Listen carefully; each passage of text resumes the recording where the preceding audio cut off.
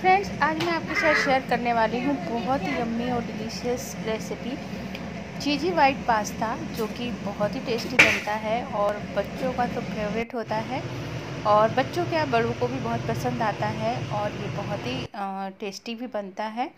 तो चलिए मैं बताती हूँ कैसे मैंने बनाया है और इसके क्या क्या चाहिए हमें इसके लिए।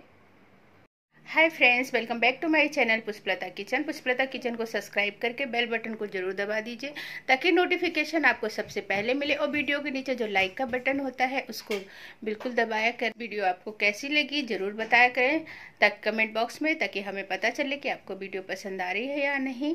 तो कमेंट करना बिल्कुल ना भूलें। वाइट सॉस पास्ता बनाने के लिए मैंने ये लिया है पेने पास्ता। आप कोई सा भी ले सकते हैं अगर ये वाला मिल जाए तो बहुत अच्छा है।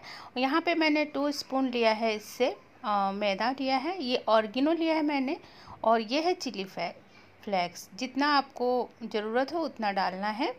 और यहाँ मैंने लिया है एक कढ़ाई में पानी, उसमें मैंने डाला है ऑयल उसके बाद इसके अंदर साल्ट ऐड किया है और जब पानी बॉयल आने लगे, तब हमको ये पास्ता इसके अंदर डालना है और इसको उबालने में हमको लगभग 15 मिनट्स लगते हैं और हमको इसको 80 परसेंट तक कुक करना है, पूरा कुक नहीं करना है क्योंकि हमें इसे सॉस के अंदर डालना है तो आप देख सकते हैं। अगर इस तरह से आपका कट जाता है मतलब अभी नहीं हुआ है, थोड़ा हमें और लगेगा एक दो मिनट तो इसे कट जाना चाहिए। इस तरह से ये मैंने ज़्यादा प्रेस किया है तो कटा है।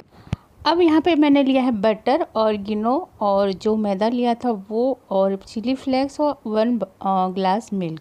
यहाँ पे मैंने वेजिटेबल्स लिया है, कैप्सिकम और इसको हमने चॉप करके लेना है, गार्लिक चॉप करके लेना है, ऑनियन चॉप करके लेना है, ये कैरेट लिया है और ये मैंने पीस लिया है।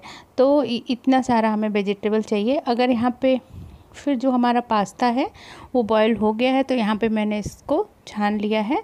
और छानने के बाद इसको हमें धो लेना है, क्योंकि इसके अंदर जो स्टार्च होता है, उसे हमें हटाना होता है।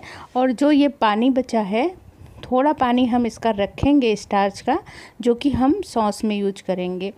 तो यहाँ पे मैंने ये बाउल में बचा के रख लिया है। अब हमने यहाँ पे ऑयल डाला और यहाँ पे गार्लिक और मैंने ऑनियन ऐड कर दिया है। और क्योंकि वीडियो लंबा हो रहा था तो मैंने थोड़ा सा फास्ट कर दिया है। तो और यहाँ पे मैंने ये कैरेट ऐड कर दिया है, क्योंकि कैरेट बहुत देर से गलता है तो पहले मैंने उसे डाला है। तो यहाँ पे कैरेट थोड़ा सा हो जाएगा, फिर बाकी की सब्ज़ी में ऐड करेंगे। यहाँ पे सब्जियों में आपको और कोई चॉइस हो तो वो आप ले सकते हैं। यहाँ पे आप कॉर्न भी डाल सकते हैं, और कैप्सिकम के दो तीन कलर आते हैं, वो भी आप डाल सकते हैं। मेरे पास जो अवेलेबल था, वो मैंने डाला है इसमें। तो इसको हमें बहुत अधिक नहीं पकाना है, बस हमें थोड़ा सा सौते कर लेना है। अब ये हो चुका है, अब इसे हम एक प्लेट में निकाल लेंगे। तो एक प्लेट में मैं निकाल रही हूँ, उसके बाद सेम कढ़ाई में ही हम इस सॉस बनाएँगे। तो यहाँ पे मैंने बटर ऐड कर दिया है, आप देख सकते हैं। तो बटर ऐड करने के बाद इसमें हम थोड़ा सा ये हमने ऐड कर दिया है। अब जो हमने यहाँ पे मैदा लिया हुआ था, वो मैदा हम यहाँ पे ऐड करेंगे। तो यहाँ पे मैंने मैदा ऐड कर दिया है और हमें लो फ्लेम पे इसको भुनना है। और इसे हमें अच्छे से भुनना है, जब तक कि इसमें से एक अच्छी सी खुशबू नहीं आने लगे।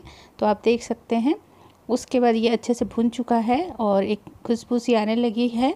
तो हम यहाँ पे ऐड करेंगे धीरे धीरे करके नॉर्मल टेम्परेचर का मिल्क तो इसे हमें अच्छे से देख सकते हैं आप कलर भी चेंज हो गया है। और ये अच्छे से हो चुका है। इस तरह का होना चाहिए। थोड़े थोड़े बबल्स आ रहे हैं। अब हम इसे हैंड मिक्सर लेंगे इसको और इससे हमें फटाफट करना है, नहीं तो लम्स आ सकते हैं। तो मैं थोड़ा थोड़ा मिल्क ऐड करके और इसको चलाती जाऊँगी और कंटिन्यूस हमें चलाना है, रुकना नहीं है इस तरह से। तो थोड़ा थोड़ा करके हम चलाते रहेंगे। तो फिर हमारा सॉस रेडी हो जाएगा, इस तरह से करते रहेंगे। तो अभी इसको में देख सकते हैं आप लम्स हैं, पर हम इसको कंटिन्यू करते रहेंगे तो ये लम्स फ्री हो जाएगा। तो मैंने और जो दूध बचा था, वो भी मैंने ऐड कर दिया है और मैं इसको फास्ट फास्ट करके इसको चला रही हूँ। तो जब तक हमारा ये बिल्कुल स्मूथ नहीं हो जाएगा, तब तक हमें इसे चलाना है। तो आप देख सकते हैं अभी कितना अच्छा स्मूथ हो गया है। पर अगर आप इस बात का ध्यान देना है कि हमें कंटिन्यूस चलाते रहना है तो अब बाकी जो थोड़ा दूध बचा था, वो मैंने ऐड कर दिया है। तो आप देख सकते हैं, वो भी मैंने ऐड कर दिया है।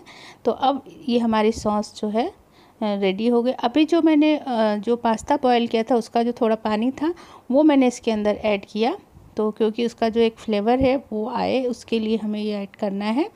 तो अब आप देख सकते हैं, बिल्कुल से, ये मैंने लिया है चीज़। चीज़ को हम ग्रेट कर लेंगे। चीज़ ऑप्शनल है, अगर आप डालें तो बच्चों को ज़्यादा पसंद आएगा। तो अगर नहीं हो तो भी चलेगा। तो यहाँ पे मैंने चीज़ को डाल दिया है। अब हमें चेक करना है कि हमारा सॉस रेडी हो गया है कि नहीं। तो इस तरह से हमें एक देख लेना है। फिर यहाँ पे हम ऑर्गेनो और चिली फ्लेक्स को ऐड करेंगे। और ऑर्गेनो चिली फ्लेक्स आप अपने टेस्ट के अनुसार कम ज़्यादा कर सकते हैं। तो यहाँ पे मैंने देख सकते हैं आप, ऐड कर दिया है। तो यहाँ पे हमारी सॉस जो है रेडी हो गई है। थोड़ा सा हम इसमें और पका लेंगे। उसके बाद हमें क्या करना है? जो हमने वेजिटेबल्स को लिया था सौते करके वो ऐड करना है पहले। तो यहाँ पे जो हमें वेजिटेबल्स था, वो मैं यहाँ पे ऐड कर दे रही हूँ। तो इसको ऐड कर दूँगी और अच्छे से मिक्स कर लूँगी। तो देख सकते हैं। क्योंकि ये थोड़ा सा यहाँ पे नमक ऐड कर दिया है मैंने। और क्योंकि आप देख सकते हैं ये कितना थिक रखना है हमें, बहुत अधिक नहीं करना है तो ये रेडी हो चुका है तो अब हम यहाँ पे पास्ता ऐड कर देंगे। तो हमें जो है, इस तरह से मिक्स कर लेना है। और बहुत ज़्यादा ठीक नहीं रखना है, क्योंकि बाद में भी ये होता है।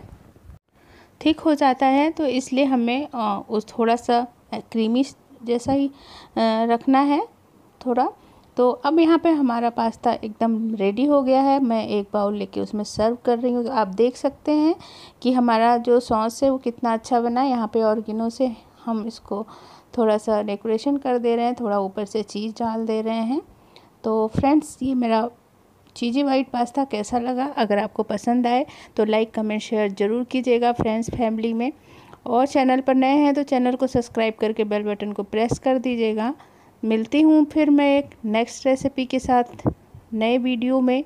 तब तक के लिए bye friends bye bye take care stay home stay safe और लाइक करना बिल्कुल ना भूला करें।